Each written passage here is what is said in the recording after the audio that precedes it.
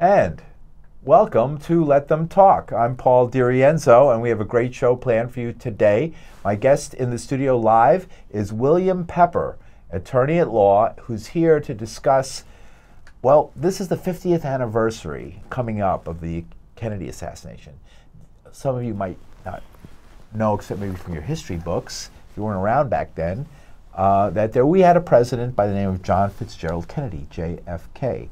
And he was, after three years in office, a tumultuous three years, a very busy three years, he was assassinated in a still unsolved, at least it's my opinion, and the opinion I think of my guest, William Pepper, that it's an unsolved crime, and that he was assassinated in Dallas on November, Dallas, Texas, November 22nd, 1963.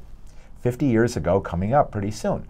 And we're going to talk a little bit about that assassination, but we're going to talk about some aspects of the Kennedy assassination that have not been dealt with very much, at least uh, somewhat, but not a lot. And we're going to be give you some information that you might not have uh, if you're interested in just who might have been behind the Kennedy assassination, and maybe the important question of the motivation why whoever did it did it.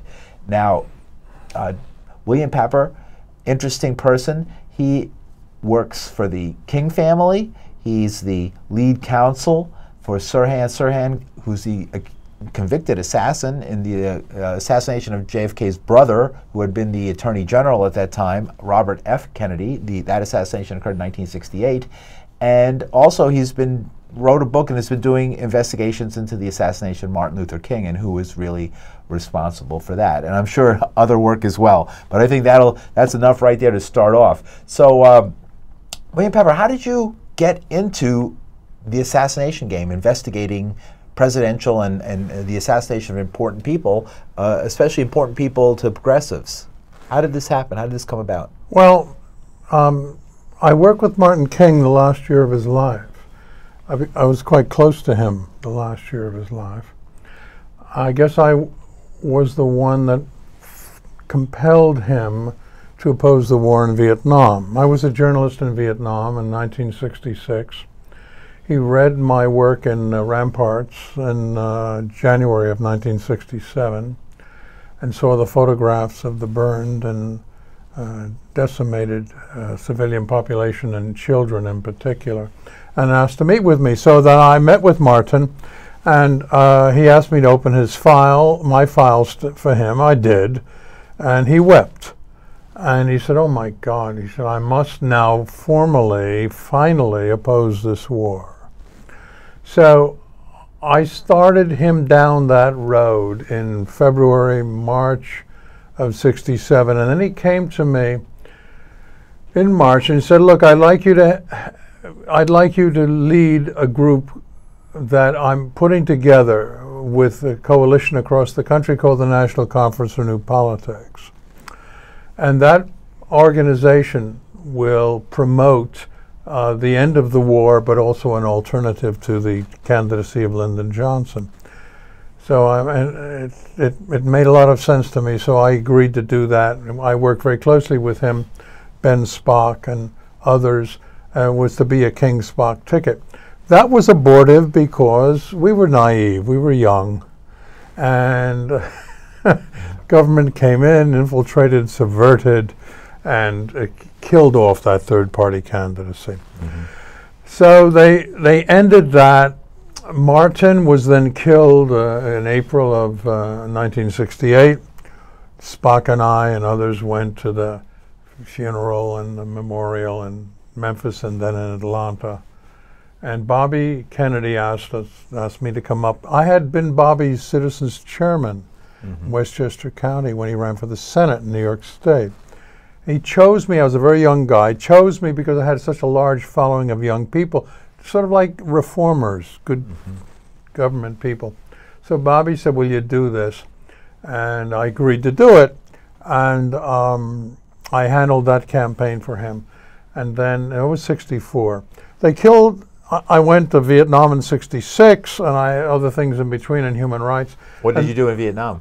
In Vietnam, I was just a journalist, but I was an accredited journalist, uh, and MACV accredited me, and I. But I went out of the country most of the time. I was in. I was out in. Uh, I was in refugee camps and orphanages and places like that, and I didn't attend the Friday briefings. and I started to make the, them nervous. o'clock follies, they used to call them, right? And- and I started to make them nervous. So Commander Madison called me in. I, I had I was out in Pleiku. I had been hit in a plane that was shot, hit on the way down, hurt my back. I had to come back to, into Saigon, and um, I went to a party with some friends. the North Vietnamese didn't know you were a good guy. You were They no, they didn't know that. they're, they're shooting at you in I an didn't airplane. know that. And I went to a party with some friends, and a young Vietnamese woman attached herself to me. And she said, What are you seeing out there? What's going on? What you're thinking about all this? You know, and again, naivete comes through, and I was honest. And I said, This is an incredibly uh, uh, torturous war. Uh, the terrorism that America is imposing on your people is just incredible. We've killed, I'm sure, millions. But it's the children that bother me the most. I gave the whole thing with her. And the next morning, I was called down to Commander Madison, who said, We understand you're not too happy about what's going on here. We think maybe it's time for you to go home. And I said, Oh, go They were home. spying on you as a Well- journalist. I mean, she was a plant, obviously. I said, go home. Well, I'd like to go, before I go home, I'd like to go out to Tay Ninh. Why do you want to go to Tay Ninh? It's controlled by the Cong. I said, I want to go to Tay Ninh because they have this leprosarium there. And I believe, you know, lepers in most societies are regarded as the dregs of this. And I would like to see how they're treated by the Na- National Liberation Front, the Viet Cong. Because on that basis, you can draw a lot of conclusions about the culture and the people. And so I said, I'd like to go in there. He looked at me and he rolled his eyes and he said, Oh, he said, Oh. I said, I need a chopper to go in because it's controlled by the uh, by the uh, Right. Cong. And he said, Oh, we can't give you a chopper, but we'll give you a jeep and a driver. This is before embedded. Like today, we have embedded, right? Oh yeah. Right. Well, This was is never your- embedded. Instead of embedded, they just give you a jeep and say go into oh, enemy territory. Oh yeah, I was never embedded. So they said, I'll give you a Jeep. So I said, well, I'll get back to you on that. So I talked to some of my friends to Bill. The last guy they gave a Jeep to was found by the side of the road. He was killed. Forget it. Go home. You're a marked man now. Mm-hmm. They don't trust you. They know what you. Go home. I never wrote anything. I never developed any of my photographs at that point. Just said, go home. So I took the advice and I. Uh, I got I got out of there, and that's when, of course, I published Ramparts magazine, did the, this incredible piece, and uh, that's how I met Martin King. Okay, so I, I met Martin and and in uh, '67, and he were we were close in '67, '68. He spoke at the National Conference of New Politics, which is probably the most democratic convention Am- Am- America's ever had. 5,000 delegates from every walk of life, from the liberals, the sane people, to the Mississippi Free Where Democratic held? Party. It was held in Chicago, the Palmer House. And as Martin delivered the keynote, I introduced him, he delivered the keynote address, a note was passed over my shoulder. I looked at this note and it said, Get him out of here after he speaks, or we'll, we will abduct him and embarrass him before the world. This was a note passed to me by a group that was called the Black Caucus. We didn't know at the time, didn't know for years later, they were, they were Blackstone Rangers types. They were, they were Mayor Daley's uh, hoodlums and they organized all the blacks who were coming in and they subverted the whole damn thing. So I got Martin out of there. Then they killed Martin in uh, April of 68. And I said, I'm through with politics. Had it. So Bobby says, Come work with me, help me. And I said, Bobby, I'm through. I don't want to do with this.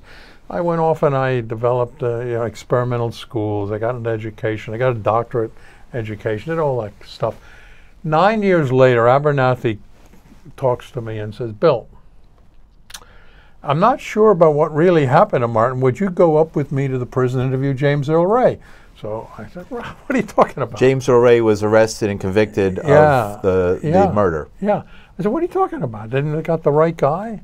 He said, I don't know what's going So I, I, I said, Ralph, it's going to take me. I didn't know anything about the case. I studied five, six months. I didn't, we went up to the prison. I spent five hours interrogating Ray with enormous um, uh, tension and pressure. We all came away said, this guy didn't, this guy didn't do it. We don't know what role he played, but he didn't do it.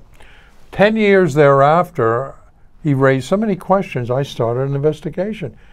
he kept asking me to represent him, and I refused for 10 years. Finally, 1988, I became his lawyer. James Ray's lawyer. Yeah, and from ni- 88 to 98, I was his lawyer. We failed to get him a trial. We were denied cert by the Supreme Court. We couldn't do it. Finally, in '99, I said the King family, Coretta came to me and said, "What do we do? You know, we don't have closure on this." I said, "Let's do a civil action," because I had identified a critical guy who was a part of the whole conspiracy. Mm. Who was that? Lloyd Jowers. He owned the grill, the bar, behind which, in the brushes, the, sh- the shooter was, the king was killed. A lot of mm. planning went on in the bar itself. He took the gun from the actual shooter, brought it into the kitchen, and of course it wasn't James Earl Ray, James was a Patsy. So I got Lloyd, we nailed Lloyd. He was a patsy. You used the word patsy? He was a patsy, yeah, we Okay, nailed him. interesting, yeah. And Lloyd Lloyd Jowers admitted the whole thing. So we sued him in order to bring out a case which the American people don't even know ever took place. 1999, 30 days, 70 witnesses before a judge, Memphis, Tennessee.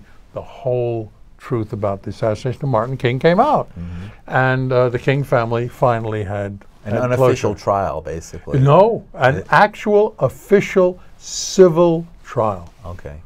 And we, it took the jury 59 minutes to come back after 70 witnesses in 30 days and said, "Go- agents of the government of the United States, state of Tennessee, city of Memphis, were responsible for the murder of Martin King.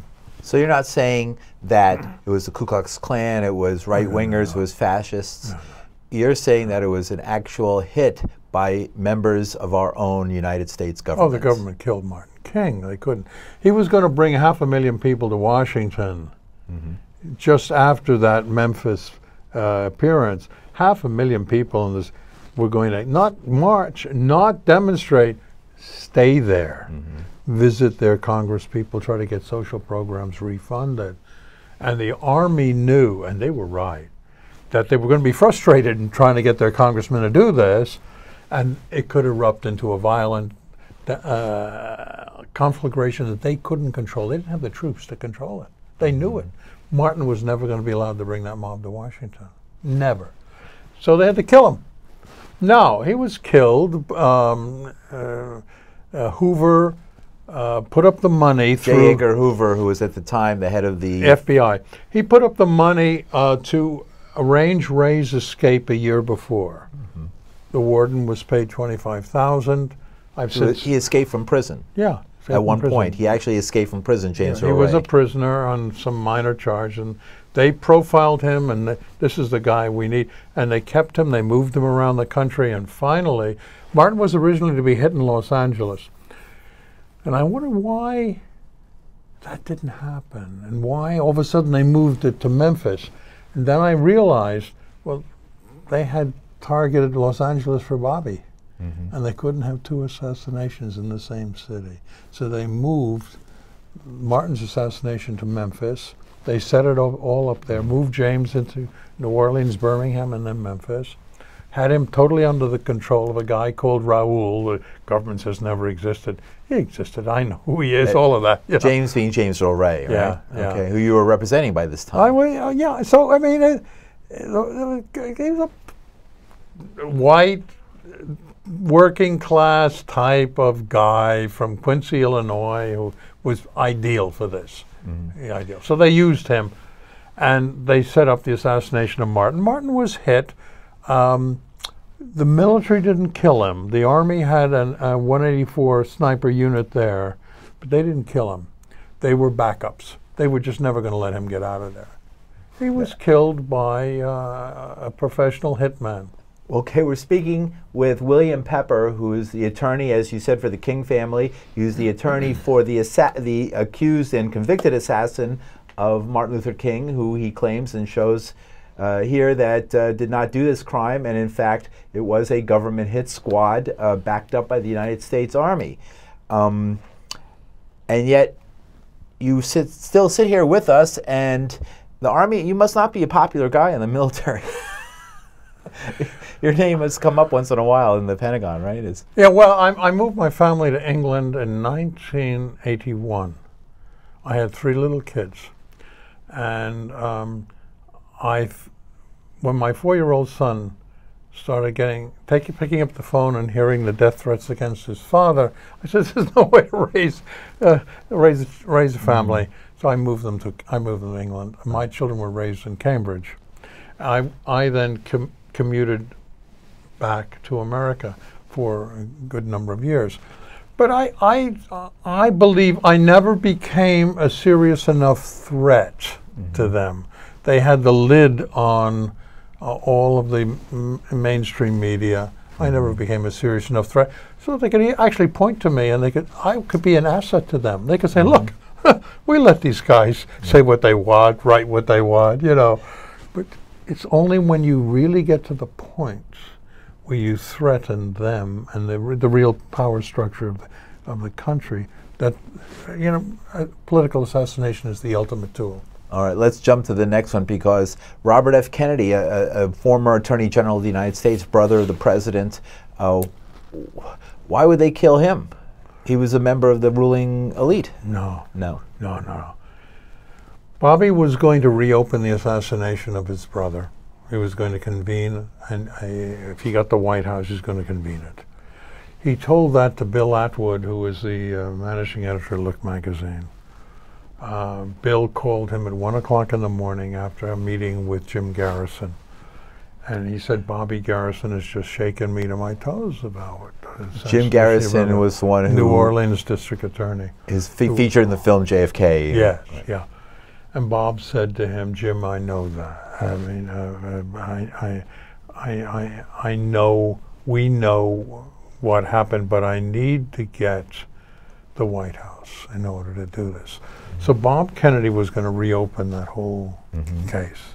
Okay. He was also going to follow through on his brother's commitment to cut the oil depletion allowance, 27.5%, percent which the oilmen were getting after every barrel. And he thought was incredible. He was going to end the war in Vietnam. Bobby was, uh, uh, like Jack became, Bobby was uncontrollable. He, they, they just couldn't allow this, this man to take the White House over.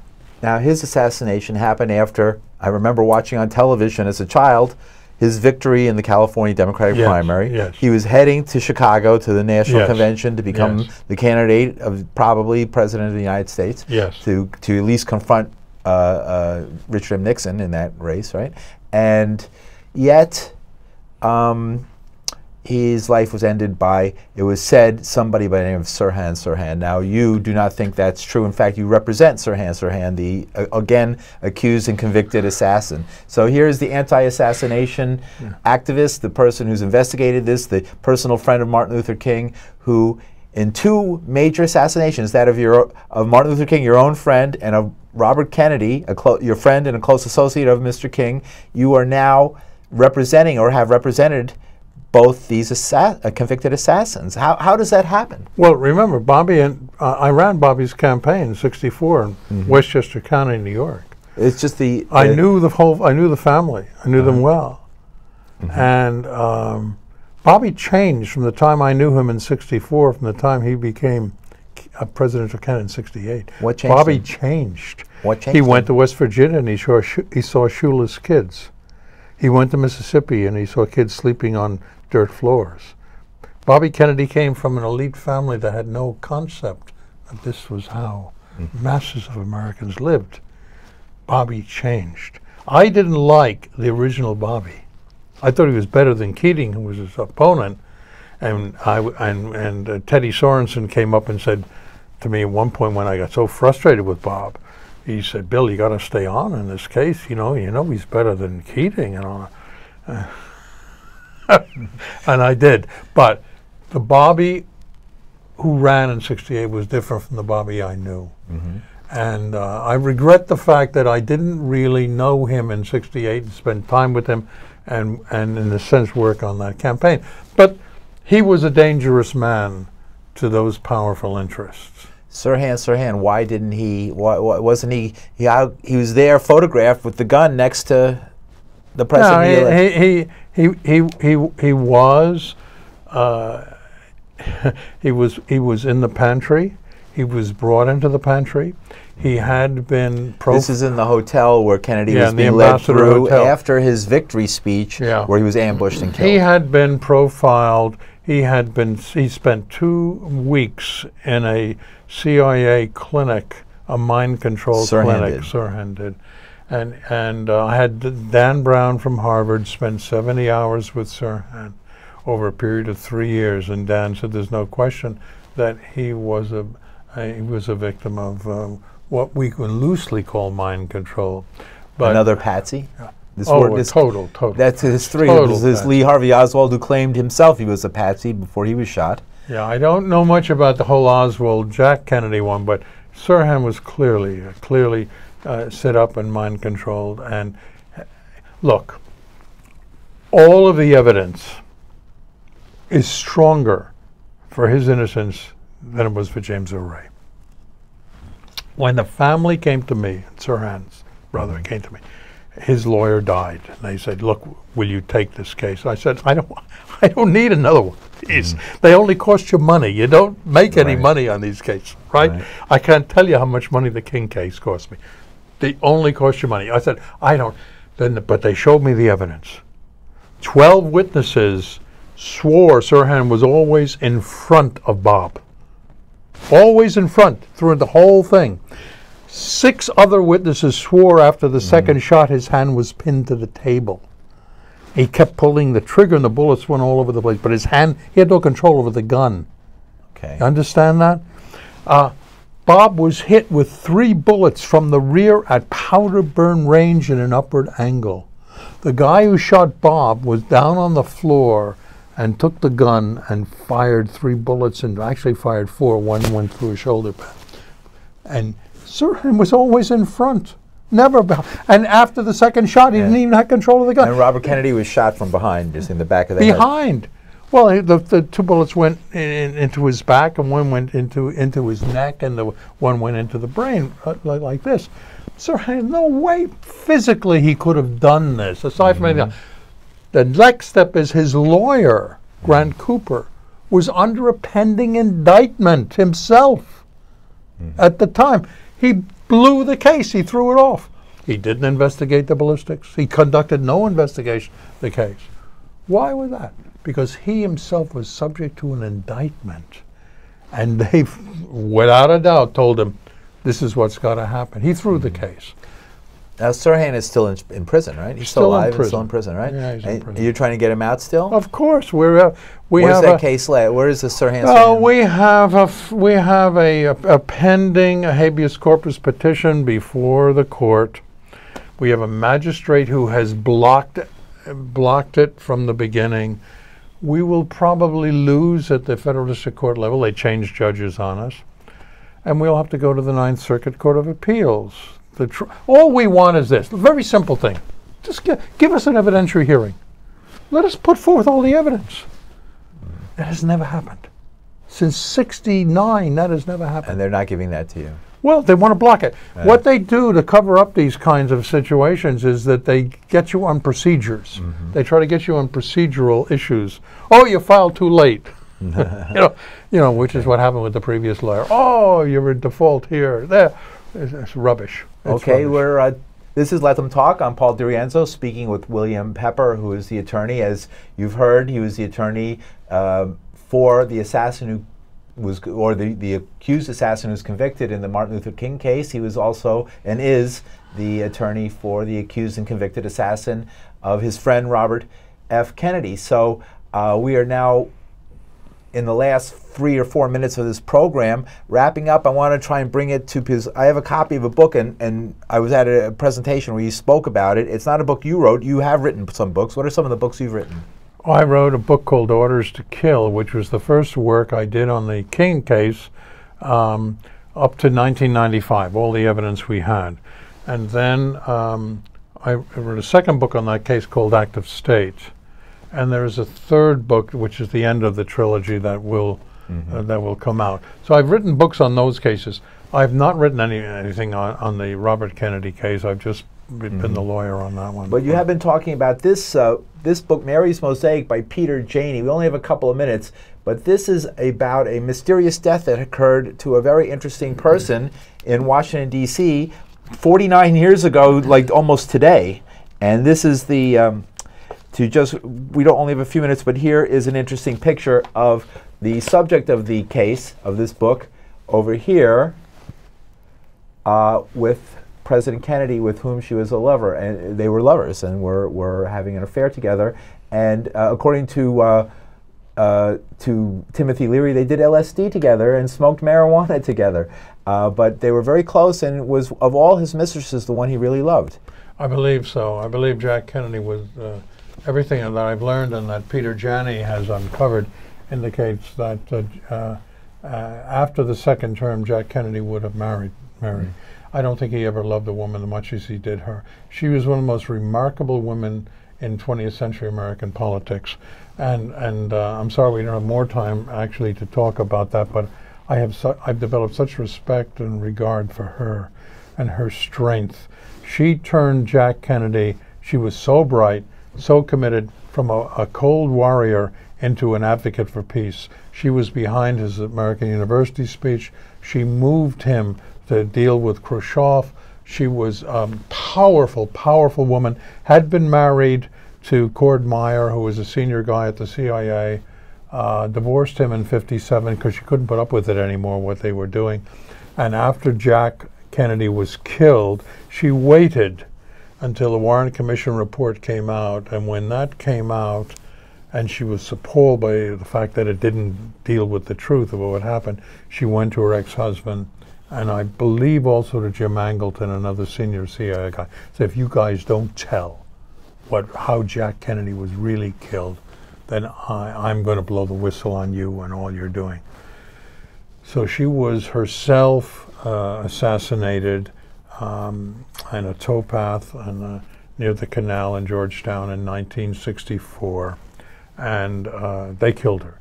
She had uh, she she had she knew too much and she was so passionate. one might say unwise, yes, perhaps, but so passionate was she committed to uh, mm-hmm. uh, to this. You believe Timothy Leary's story that they did LSD together? I, I think there's no question that Leary gave her the acid, and she took Jack on at least one, uh, Jack Kennedy on at least one acid trip and I think she opened up this man like uh, he had never been before. And and he changed during this whole period. She spent so much time with him. Thank you very much. We must go. William Pepper, check out Mary's Mosaic, Peter Janney's book, and thank you very much.